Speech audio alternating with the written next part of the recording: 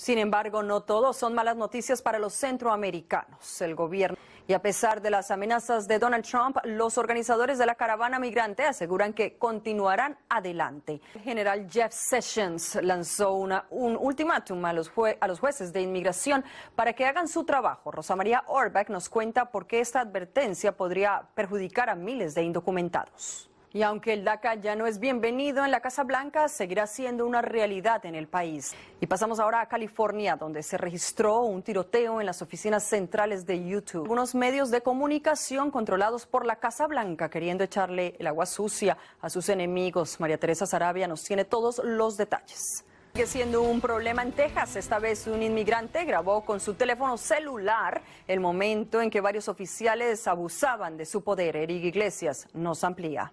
Gracias, Víctor. Y como todos los martes, Juan David Rosso nos trae los chismes del taquero. Amigos, hemos llegado al final de su noticiero por el día de hoy. Los esperamos mañana con más información. Lo tiene que ver. Chao, chao. Estado. Juan David Rosso nos tiene todos los detalles.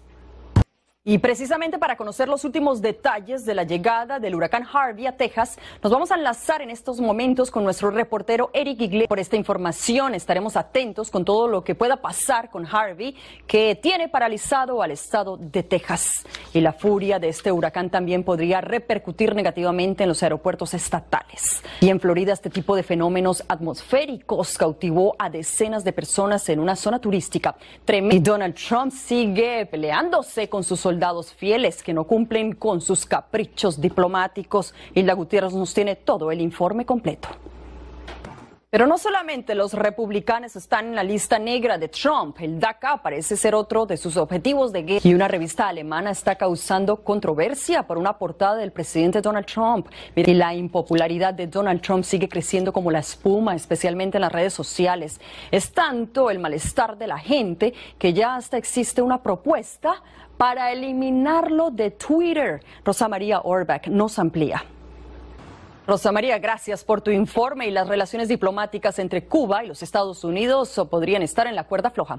A pesar de este malestar de la mayoría de los estadounidenses, Trump no cede en sus planes para cerrarle la puerta a los... Gracias por continuar con nosotros. Si el Estado Islámico quiere sembrar el terror en Europa como de lugar, esta vez el Papa Francisco fue blanco de sus amenazas. José Luis Muñoz nos tiene todos los detalles.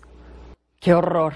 Y a siete años de la masacre de 72 migrantes centroamericanos en Tamaulipas, la justicia parece quedarse dormida. Su falta de compromiso volvió a generar el repudio de los activistas y familiares de las víctimas en la calle. María Teresa Sarabia nos informa.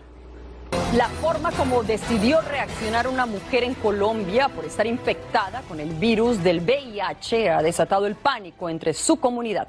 Desde Bogotá, Carolina Gómez nos tiene esta dramática historia.